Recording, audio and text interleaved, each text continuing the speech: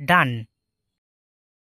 ডান বলতে বোঝায় সম্পন্ন, অনুষ্ঠিত, কারকিত বা করা হয়েছে এমন।